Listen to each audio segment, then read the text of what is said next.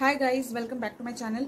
In this video, we are going to solve design numerical of astable multivibrator using op-amp or you can say square wave generator. These types of questions can be asked in exam for around 5 marks.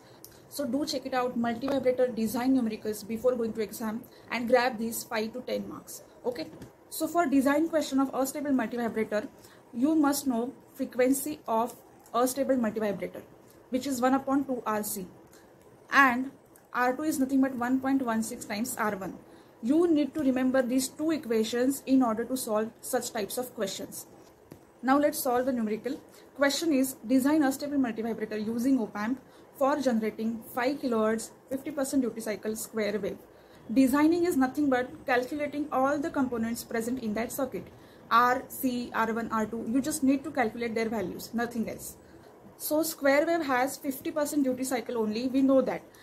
But there is different type of astable multivibrator which is asymmetric astable multivibrator. That we will cover in another video how to solve for 60% or 40%. But the simplest scenario is a square wave which is 50% duty cycle. Okay, so in question they will give you the frequency. So in this question you have given 5 kilohertz and frequency of oscillation is 1 upon 2 RC. So here what will you do? You know the frequency you will assume the value of capacitor. Okay so frequency is 5 kilohertz. I assume the capacitor's value which is 0.1 microfarad. So the unknown variable over here is r.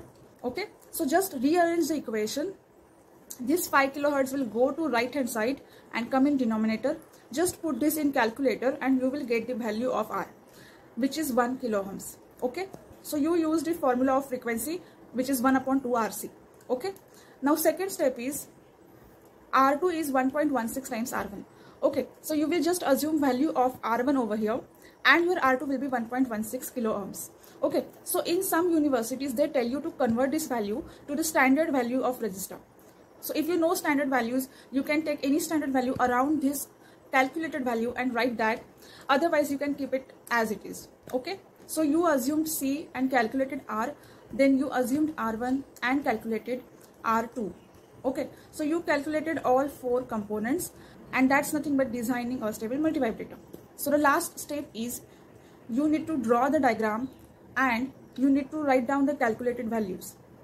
So c is 0.1 microfarad r is 1 kilo ohms then r1 is 1 kilo ohms and r2 is 1.16 kilo ohms okay so you just need to draw the diagram and write down the calculated values you can draw the waveform if it is mentioned in the question and that's all. So this circuit will provide a square wave of 5 kilohertz 50% duty cycle. Okay.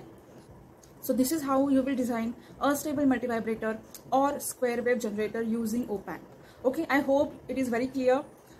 So that's all for this video. If you have liked this video, press the like button, share this whole playlist with your friends and subscribe to my channel. Thank you.